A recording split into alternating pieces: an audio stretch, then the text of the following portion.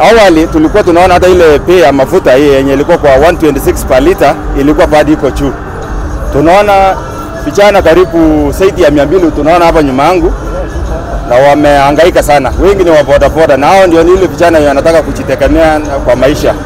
Wale wahusika wa serikali katika Energy Petroleum Regulatory Authority EPRA wamesembea kazini kwa vile hawawezi kuchukua maoni kutoka kwa wale watu wahusika, wa, wale watu wa chini wenye wanatumia mafuta hasa mafuta ya taa, petroli kwa kazi zao za kila siku, day to day activities.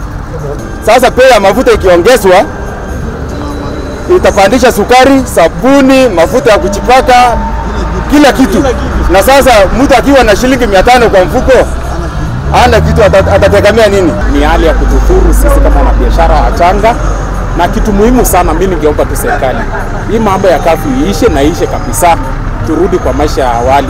Hii mambo ya corona, unalipa mask, unalipa mafuta na kila kitu, biashara irudi normal. Unakuta kwamba pikipiki ni ya ama labda saa zingine umeweza kuajiriwa na mtu. Sasa unaona kweli hii bei jinsi inaweza kupanda, hata wale ambao tunaokopa ukiwapeleka tuseme kwamba unakopa kwa shilingi hamsini ukiambia kwamba aweza kuongeza hata hataweza kuongeza. Kwa sababu gani? Pia naye analia, hana pesa. Korona ilikuja Kenya hii imetuumiza, na tena mafuta imetuumiza. Jamani, tutaenda wapi?